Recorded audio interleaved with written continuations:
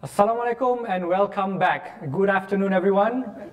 We are TPM. You, you guys are watching TPM X My Drone Tech Festival 2020. And together with me again, uh, Mr. William Alvisse uh, from Mudas. So together with us, he will be sharing about the role of JUPEM that uh, plays in UAV and national security. And I think this is a really, really important topic that we need to share with everyone.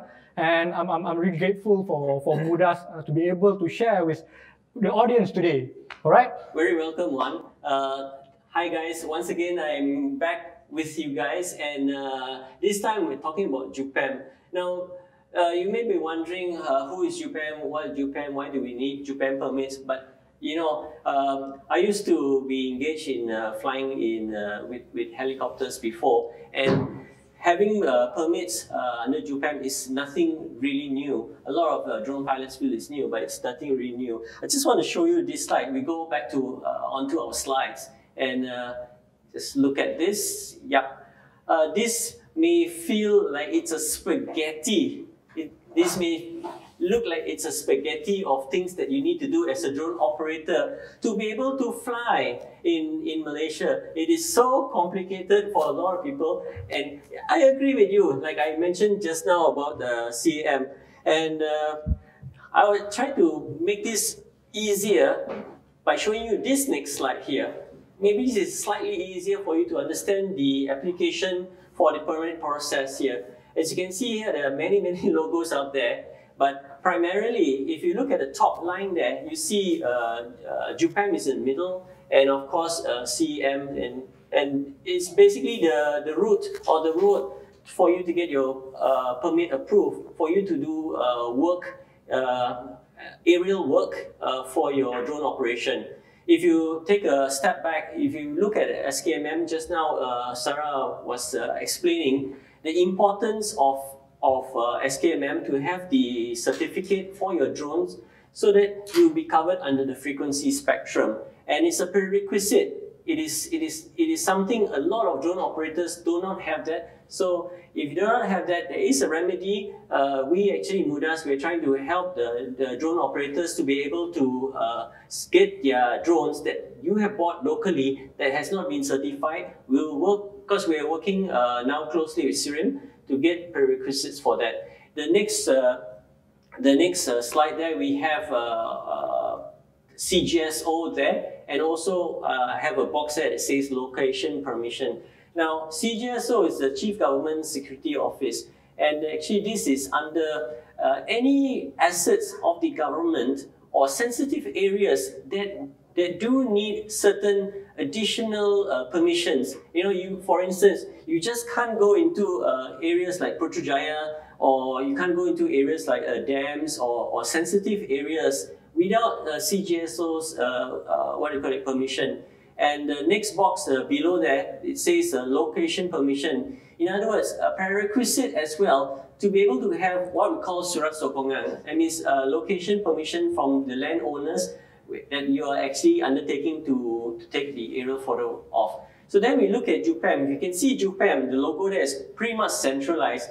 So JUPEM coordinates for this and does a level of security checks uh, with the, the, the police, basically to check you guys out, see whether you guys are legit and you do not have any any criminal record, and also to check the the number of uh, uh, locations that you want to fly. So they are very, very important. I'll go into the details of who actually uh, handles the permits for, for JUPEM under that part there. And of course, when all your ducks in a row are completed and you get the JUPEM permit, you will then apply for the CEM. So CEM is actually the last stop. And just now, as I mentioned, it has a, a long uh, list of things that, that they are looking at. But primarily, CEM is only interested in airspace safety. So wherever you fly, you have to be safe. And once everything is completed, you will be then issued with an approved permit. So this is uh, basically uh, the route for getting that. So now if you look at JUPEM in its, in, in its uh, entirety here, uh, JUPEM is actually a depart, uh, what do you call it, an agency, a department under the Ministry of Energy and Natural Resources, all right? It is being there's a lot of words there. Basically, it's saying that it's been there a long, long time. And uh, the important thing to recognize here is that everything is governed by uh, a particular circular. It's called the Pekeliling Am Bilangan 1 tahun 2007. This is under the Prime Minister's Department, uh, certified in 2007. And what it basically says is that the in a, in a way that the code of conduct. So whatever uh, permits you need to do, if you're asking why do I need to do this, this is the reason why it's part of the uh, what Regulation. It, the, the, the circular, circulars that has, that's come out. So this is very, very important. And again, I can't stress enough, JUPEM actually undertakes the responsibility of ensuring national security. In other words, in the old days, you have uh, a lot of people taking images from the from from the air and misusing it or or, set, or using it in different countries or whatever. So as a matter of national security, JUPEM actually undertakes that responsibility. And uh, within JUPEM itself, there's a unit that's called uh, BGSP. And uh, BGSP is actually um, part of the army. Uh, they are actually military intelligence and they are, they are the ones who actually do the vetting of all the permits. So I actually uh, have been doing permits with uh, uh BGSP since 1989 and uh, it is it is all army guys. Uh, they, are, they, they are in army uniform and they are, they are very, very particular about um, the national uh, security of our country. So that's very good to have it. And I, what do you call it? I think this is very important. It helps us uh, to keep uh, our, our country safe in terms of uh, the permits that we do. All right, so uh, I have what do you call it? This slide here, basically how JUPEM will coordinate the process we have BGSP, they will actually send the, your, your materials and they, they'll send information back to PDRM and if necessary, uh, coordinate with CGSO for matters of uh, security if it's related to government assets. So this is how they actually work. So the screening is very, very important. And uh, this is a very old form. It's called the PPN 130. And this is the form that we used to fill up uh, manually and we fill it up in triplicate and then we will actually process it, send in for processing. So it's a very complicated form. Uh, but right now, uh, JUPEM has renewed, uh, made it easy for the industry, and I'm going to do a selling job on, on what they're actually doing right now. Um, we're calling it the eBiz uh, JUPEM GeoPortal, all right? How to fill this form in. But before we go into that, uh, this is how it looks. It's an eBiz, uh, JUPEM e-business. So for all of you guys who are thinking of applying for permits with JUPEM, you need to go to the eBiz for JUPEM e-business and go to the GeoPortal and they'll have uh, a step-by-step -step method of how to actually apply for permits. And the beauty about this is that you can do this all online. And this is the wonderful thing. You can make the application online and also pay online. And I want to share with you this video on what they have done. You can actually uh, see how it goes. So this is the pendaftaran uh, pengguna luar. All right. So the landing page is where you come here. First of all, you have to log in and register yourself. And once you register, you become a new registrant. They will then send back um, you put in all your personal particulars. You can see that. And after that, you will get uh, the information you have, you put in your email as well. They have a lot of passwords. It's very much uh, encrypted and password protected. It is a very, very good online. It's so easy. Uh, anyone uh, can actually use it. This is something that the industry uh, really, really uh, appreciates. I know I do. I do a lot of uh, uh, permit applications for commercial operators, and I encourage them. I help them a bit, but I also encourage them to do it themselves. And this is something that is very easy. So once you finish, you register, and you got um, clear uh, Berjaya, pendaftaran Berjaya, then they'll email to you for verification once they email the verification to your email, then you verify it and then you will get officially registered. Then you go back into this, key in your password. They will give you a verification password key. You go into this, and now you can do the application. It's as simple as that. All right. So you log in here, click accept, put in your details, your frasa, your what do you call it, all, all your key panel words that you want to put in.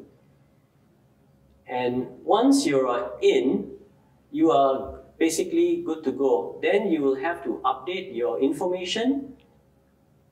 They'll ask you a little bit more information. Now the information they will ask you is basically on your personal particulars and also your company particulars. So this is the dashboard that you see in front of you. Once you're here, you can actually uh, be in control of the number of permits that you do. It has a payment system, very simple. A lot of people cannot say they don't know how to do this already because it's out there. Please go to this, uh, if you need to email them directly, the information is there. Mm -hmm. And this, this video was done by, by JUPEM. So I highly uh, uh recommend. recommend that you all go to this website.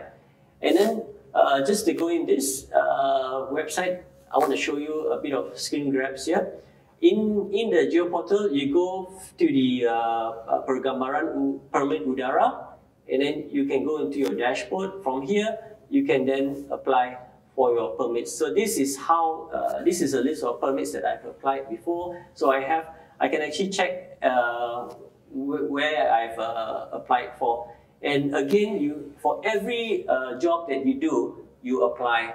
So your details will be in, and you see here your personal details, your company details, your corporate details, a lot of things they want to know about you and also your the supporting letters that you need to include and also the type of uh, drone that you're using and also where you're flying, your location, all these are important. So William, I, I got a question. Yeah. So because when, when I see companies applying for this, mm. so are only commercial uh, companies that needs to apply? So if what, what if you are a freelancer?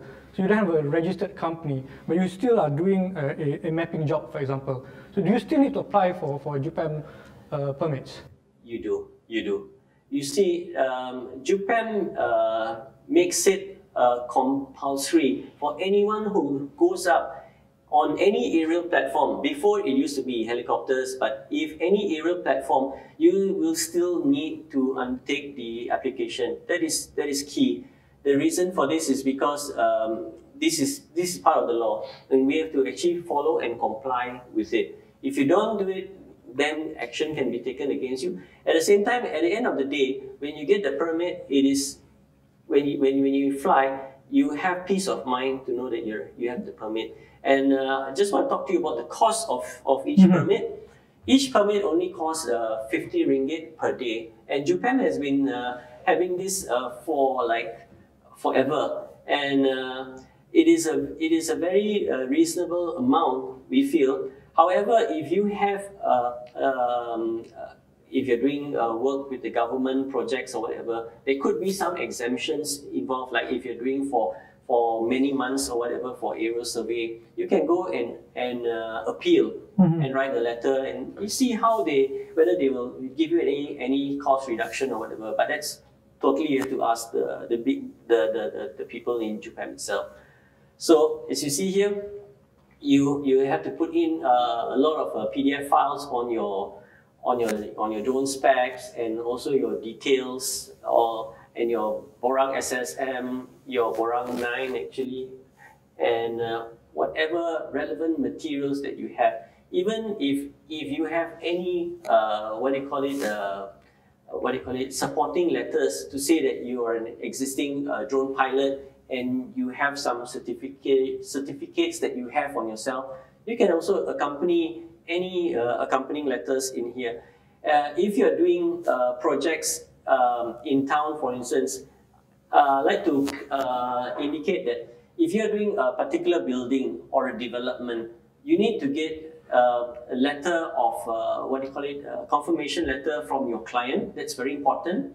And the second one would be the permission letter of whoever uh, owns the properties.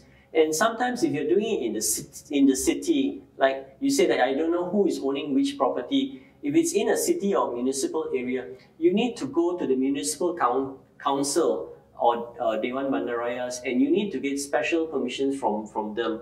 It's all there, it's all mapped out. Uh, any further information if you need, you can you can uh, contact uh, Mudas, you can contact us and we can try to help you get be compliant. That I think is the very, very important thing. And this is the journey that you need to do, like what I showed you just now, where you have uh, get all all your your your surat sokongan, all your your supporting letters in place and submit to them. Normally, uh, in terms of time of mm, duration, duration, of application, now this could be complicated. All right.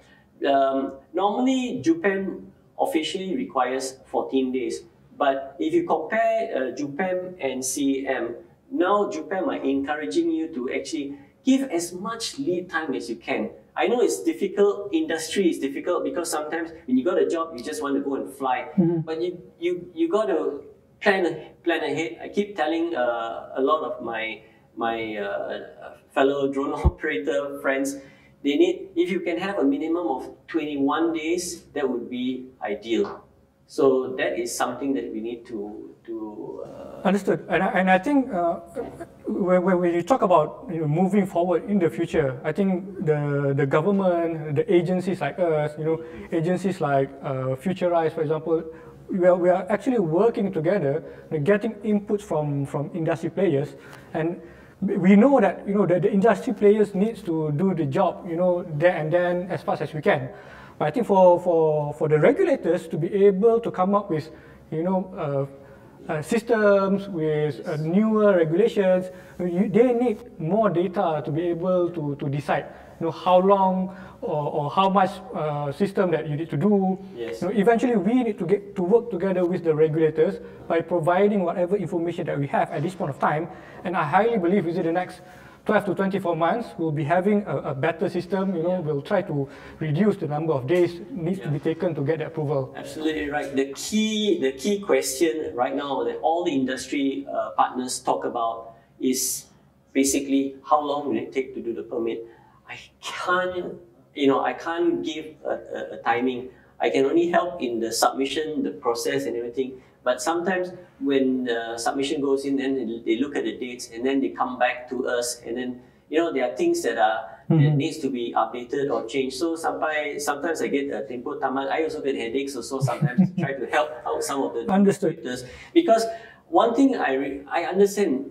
Um, I would I would uh, appeal to the to the supporting uh, agencies to, uh, that bring all the permits could be CM all the supporting agencies to really uh, feel for the industry because they also they, have deadlines to meet and a lot of times um, it is difficult because of the timing and we could be losing a, a lot of uh, projects uh, that's coming down to Malaysia because it's too difficult to do uh, permits and things like that. Mm-hmm. So we're trying to address that. I'm trying to help the industry to say that whatever you have, just do it here. You know, mm-hmm. don't take your business outside uh, stay in Malaysia because it's very important, especially FDI.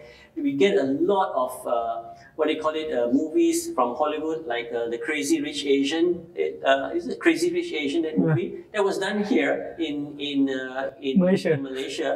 and very good for the industry. And we get a lot of China productions, Hong Kong productions coming in as well. Um, there was pre pre pre COVID time but we need to bring that back because this is all um, FDI coming, uh, direct foreign direct investments is coming in. Mm-hmm. We got to support that. So I would appeal to the to the agencies to look into the timing. Uh, everything now is done online, so maybe we could hasten the process. I mean, um, I remember someone saying that sometimes it takes uh, f- uh, 14 days to, to process a, a permit, say for instance. But now with with with all the technology that we have, have we, we should be able to cut that down within uh, uh, three days to have a reasonable period of time. Mm-hmm. You know what I mean? But then again, it's it's it's all about uh, coming together and can't emphasize this enough to have a one-stop agency to actually handle all these uh, submissions to make it easier for industry to, to actually operate. All right, uh, just one more part. Can we uh, go to the slides again?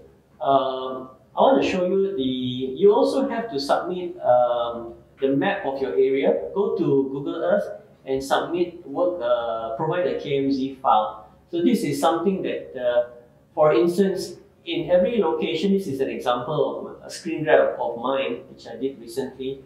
Any area that you need to actually uh, undertake, you need to highlight the four uh, GPS points. This is the information that we need to give for JUPEM. But earlier in my session, which I showed uh, uh, under CEM, CEM actually requires the buffer zone and that's airspace safety. Whereas uh, JUPEM just wants to know where you're flying in which which uh, operating area. So for the for the CEM one, you actually need to provide 16 points. Here you just need uh, four points. All right. So then to the next slide here. One thing good about this is that whatever we submit, we'll get uh, the what do you call it uh, feedback from the officer in charge, uh, mm -hmm. and they will come back to us whether, whether our our permit is incomplete or needs to be to be added uh, certain things. You know, this is the wonderful thing about it. And at the end of the day, this is how an approved permit looks like. All right. So that's my I think on, on okay, let, us try to highlight on this part as well. Yeah, I'm bring this in again. I showed this just now. Um, you you guys uh, have to be compliant. I think that's important. Uh, I took this out from, from CEM again, and, and there's a lot of uh, penalties there existing, and there's a lot of uh, uh, dollar signs and jail time included.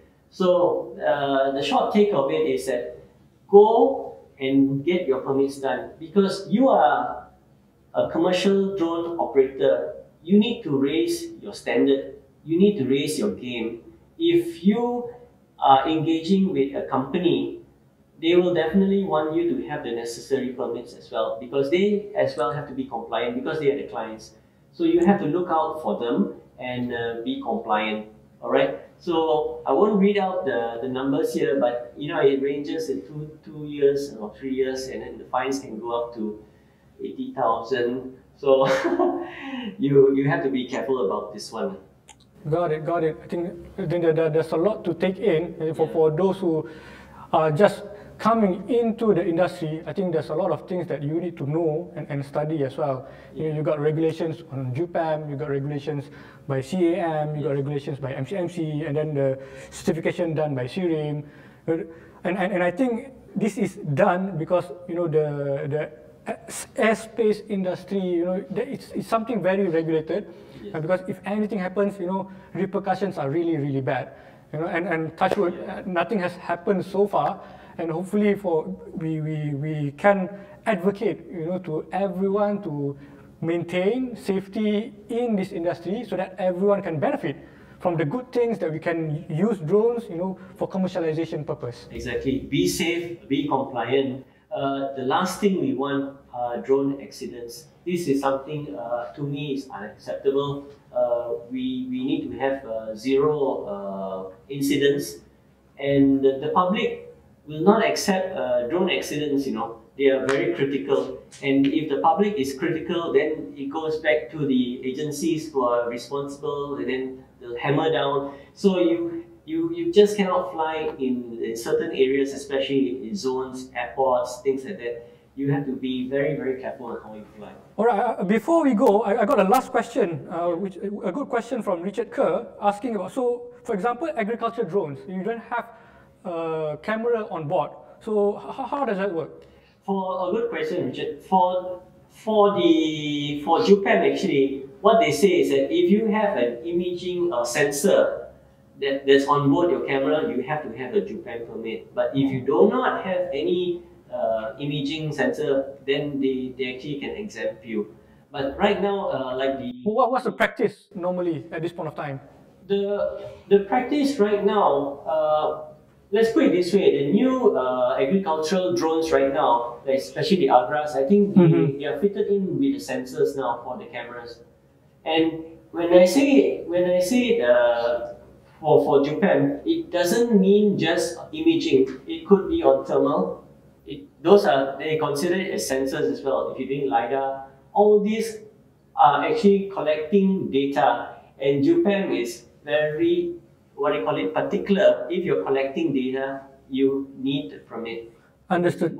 Understood. Understood. I think I think if, if I can summarize this, yeah. so this drone industry, you know, all these drone uh, tools, applications, so this is still in development. So yeah. it is still a new thing. And of course, you know, uh, regulators being regulators, so there are some some some things that we need to work with them to ensure that you know the, the regulators keep up with the technology that's available right now. Yeah. And I think for, from our side, which is, this is the re initial reason why we are doing this uh, drone tech initiative, as well as you know this uh, drone tech festival, to actually get all the drone industry players to come together, you know, to help agencies like us, yeah. you know, uh, agencies like MDEC, Magic, Futurise, and all the regulators as well, yeah. because we need all your support, all your data, all your information, and from, from all these recommendations that we get, we will be able to meet up with all these regulators and to recommend to them, you know, what does the industry wants and needs. Yeah. And, and from there, at least, you know, we can justify that this is something important for us to do and we need to do it fast. Definitely, you know, on, on that point, just a last word in here uh, CAM will be announcing sometime uh, something very soon to actually uh, um, enlarge on the points that they've given in, from July. So this is something exciting for us. We are waiting with bated breath and uh, we, we hope to see more information and on regulatory requirements and uh, I will just wrap on that, I think. All right, all right. Thank you so much, William. Uh, thank you so much, everyone uh, watching at home. And, and we'll, we'll, we'll come back uh, at 2 o'clock, to, to continue our session, we have three other sessions, uh, which is a presentation by Technology Park Malaysia and a sharing session by MDEC as well, and one final panel session uh, together with few panelists uh, after our two-hour break. So hopefully we can see you guys back uh, because of the current pandemic situation. We are bringing you this session live together with us today from uh, STEM, STEM, STEM for All Makerspace uh, in Damen Mall, USJ. So hopefully after this pandemic is done, you, you guys can come and visit us here. But there's a lot of great things ongoing here right now. And if you, you guys want to meet up with Mudas members, if you want to become a Mudas members yes. and learn more about the industry, work together with agencies like MDEC, TPM, and other agencies involved in this My Drone Tech initiative. You must you must write into us. Our membership, exactly. Our membership is only 50 ringgit a year. All right. Uh, we registration 50 ringgit. So it, it's, it's very, very uh, accessible. And we invite uh, anyone who is interested to be members, just send, uh, send us an email and then we'll reply to you send you a form. All right, uh, thank you so much. We will be back and I will see you after lunch. So thank you so much. Do come and join us back on TPM X My Drone Tech Festival 2020. Thank you so much. Assalamualaikum and goodbye.